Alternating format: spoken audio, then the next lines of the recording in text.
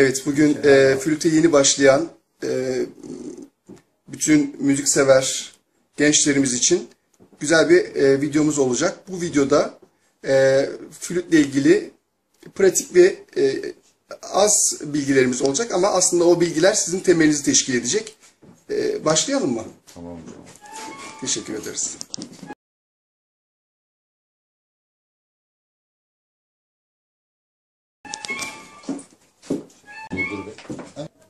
Merhaba, Murat Sarıkaş'la beraberiz. Evet hocam. E, yan flüt virtüözü. Yok canım. Şimdi yeni başlayan e, hevesli genç- gençlerimiz için e, Sayın Murat Hocam e, nasıl tavsiyeleriniz olabilir? Yani şimdi tabii ki komplike bir alet ve zor. Nefes e, çalışmaları, egzersizleri, diyafram egzersizleri artı bir dünya şeyler zaten e, anlatıyoruz, yapıyoruz, uğraşıyoruz bunlarla alakalı. Aykut hocamıza çok teşekkür edin. O, o yani bu işin mimarı aslında o diyelim. İlk flütle alakalı şunu söyleyebilirim. Ee, anlıyorum öğrenciler bazen çok sıkılıyor ama temeli bu işin şu ağızlık dediğimiz ambuşur. Yani head joint dediğimiz mantık. Ee, bunda oktav çalışması yapmaları gerekiyor hocam. O da nasıl olması gerekiyor? Neden bu? Temeli bu. Bunu yapmadığın takdirde istediğin kadar hız yap, aceleten olsun belli bir tonu tutturamazsın ve e, ağızlık mantığını, ambuşur mantığını çok basit ya çözemiyorlar. Nereye üfleyeceğini bilmiyor, nasıl üflemesi gerektiğini bilmiyor. İşte flütü takıyor, oktav ses çıkaracağına pes üflüyor. Aa diyor bunun sesi böyle mi? Hayır aslında belli frekansları ayarlayabilse kendi içinde, e, tabii ki bilmedikleri içinde bu aslında çok basit. Mesela ambuşurlukla yapabilecekleri egzersizler bu şekilde. 90 derece açı her zaman bu şekilde koysunlar. Kapalı bir şekilde şu şekilde koyuyorum hocam. Görsün. Dudağımın ortasına doğru. Ve sadece açıyorum. Yani karşıdaki insan e, ortadaki deliği bence görmemeli. Bizi biraz daha içeri doğru çevirip çalıyoruz.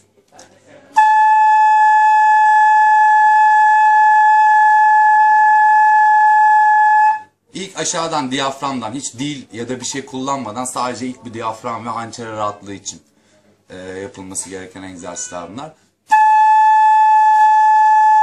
Evet boş üflüyorum. Sadece sonradan şekil alacak tabii bu bir ton haline gelecektir muhtemelen.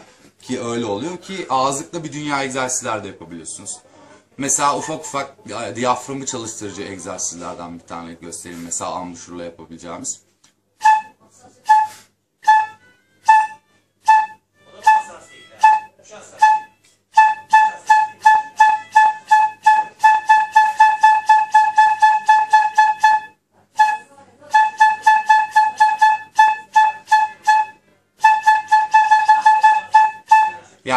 Tek vuruş, iki vuruş, üç yani e, 8'lik, 16'lık, 32'lik gibi bunu bölebilirler. Tabi bunun çalışmaları ilk başta yavaş yavaş dörtlük ve içeriden ha diyerek yani e, öyle oluyor galiba.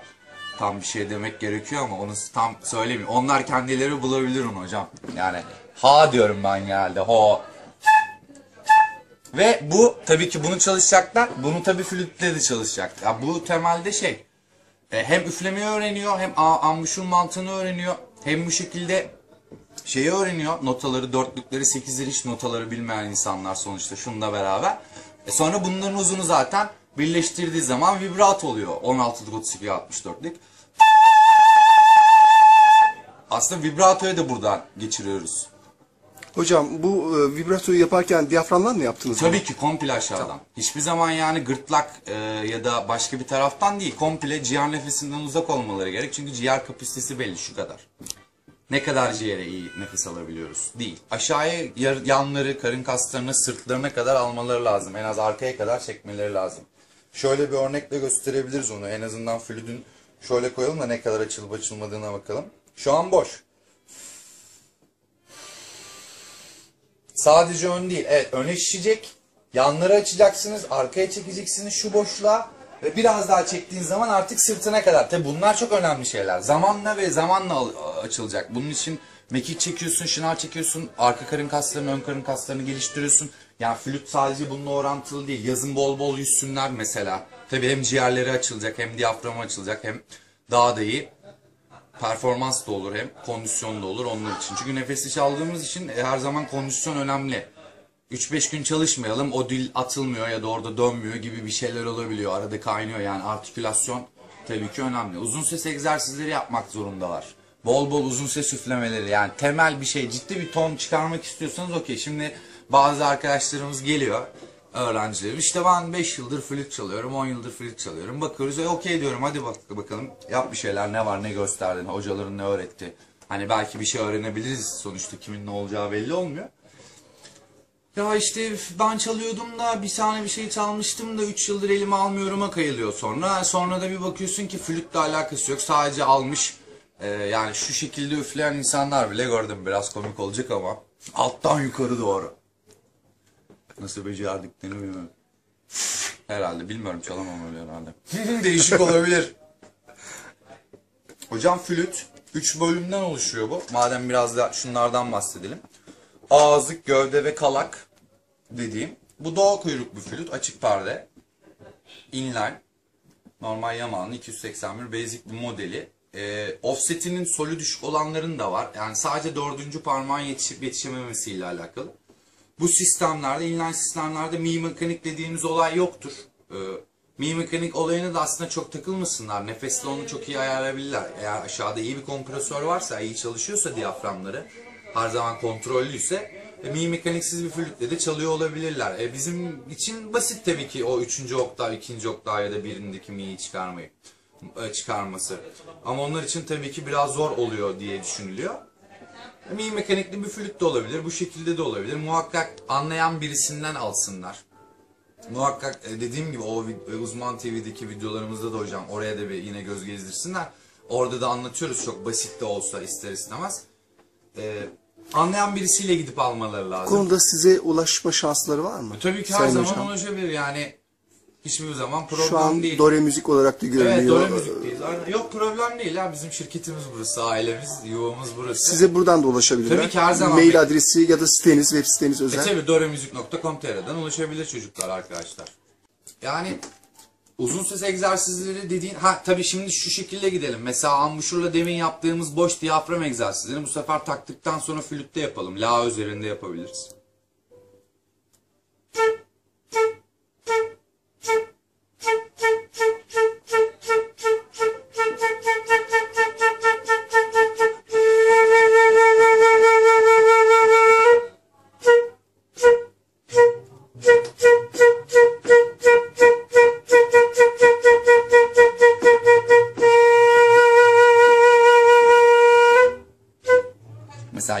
Vuruş yarım vuruş kromatik kromatik çıktım.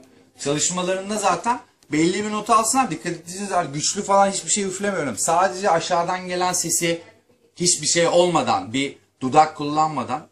Çünkü flütte dudak bazıları öyle şekilde düşünüyor ama ben genelde Fransız hocalar ve onların stratejileriyle, onların teknikleri çaldığım için dudak bizde yüzde on sadece çok ince renklerde kapat, kapatıp açmak için falan kullanılabilecek bir şey. Yani normalde dudağı kullanmadan direkt diyaframdan işi halletmeleri gerekiyor.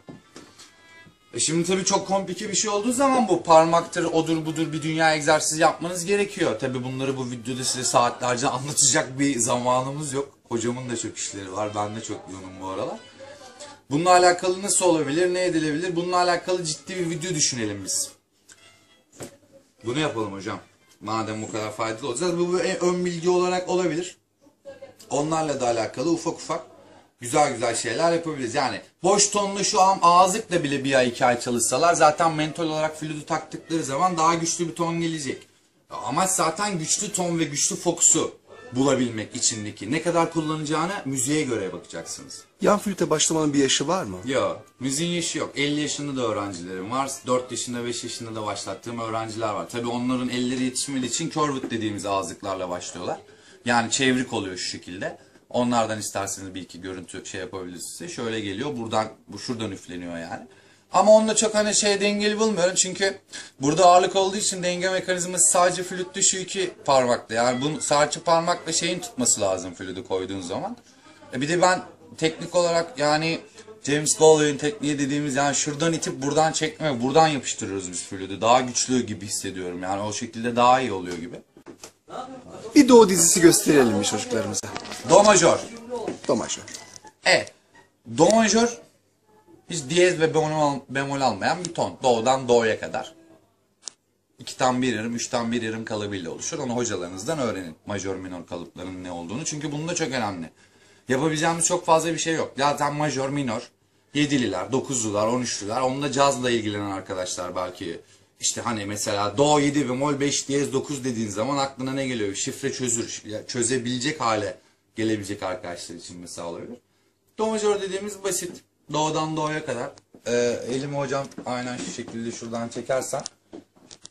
Parmak ucundaki memeler açık çalan arkadaşlarım için delikli çalan, delikli flüt çalmak isteyen için sadece bombeleri oturtturmamız gerekiyor. Do dediğimizde şu.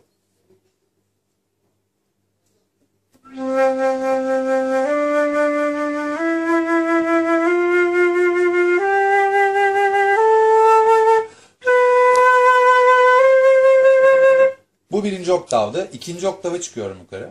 Sadece fazla farklı bir şey yok. Aşağı üflediğim şey biraz daha karşıya. Şuraya çarptırarak üflüyorum ve biraz parmak tuşları tabii ki değişik. Onları da zaten hocam halledecek.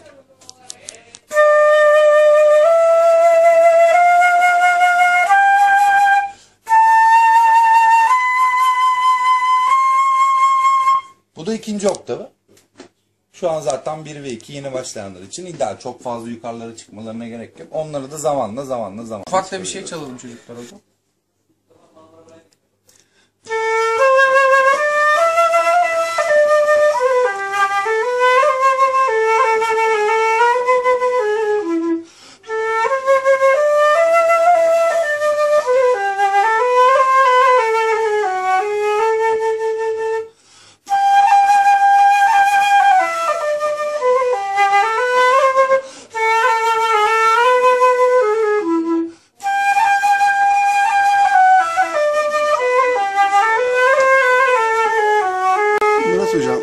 Öğrencilerden en çok e, aldığım sorulardan bir tanesi de şu.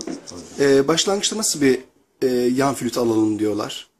Burada gösterebileceğimiz seçenek var mı şu an? Tabii canım. Yani uzak doğu ürünleri zaten ya 1000 TL'nin altından çok böyle Paris, Maris, Amerika, aman Almanya oymuş, Japonmuş falan beklemeyin. Artık Yamaha'lar bile o 10 yıldır sanıyorum. Yalan söylemiş olmayayım. Ya 9 ya da 11 de olabilir. Şeyde üretiliyor artık. Endonezya'da üretiliyor. Zaten görüyorsunuz.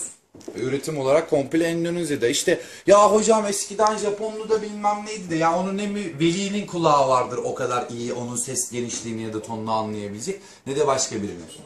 Öyle bir şey yok. Evet biz anlarız malzemesinden, iyiliğinden, üflediğimiz zaman tonun nasıl çıktığından ve tabi Japonlar biraz daha güçlü oluyor ve daha dayanıklı oluyor ama şu an 11-12 yıldır e, şeyde yapıyorlar.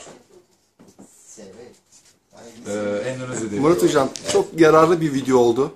Şimdi O Murat zaman- Hocam sizden Gençler için yani ya da meraklılar için güzel bir iki bir melodik öyle basit basit çok klasiğe girmeyelim çünkü sıkılırlar o kadar. İstiyorsanız çekin yani. Var bir dünya notalarımız, bir dünya şeyleri. siz her gün çalışıyorsunuz anladığım Ya mecbur o seviyoruz yani mesleğimizi. Çünkü ben geldiğimde yine bir klasik çalışıyordunuz. Tabii tabii tabii. Mecbur. Mecbur bunlar lazım bunları okumak lazım, çalmak lazım. Milyonlarca nota yapmışlar, yazmış adamlar. Oturmuşlar saatlerce günlerce yani müzisyenlerin hayatını okudukları zaman içler acısı halde yap- yapmış, yaşamışlar. Evet. Düşünsenize kalemi ve kağıdı yok. Duvarlara yazıyor notalarını. Bir nota kağıdı alacak parası yok ve senfoniler yazıyor kafasında. Kolay değil. Ee, Murat Hocam'ın verdiği bu bilgilerle Son siz bir de güzel bir bir şey. gün umarım bu melodiyi çalabilirsiniz. Bunu çalarlar. Hangi basitçe. melodiyi çalıyoruz şu Green? Sleeves. Var o. Çok popüler gençlerde.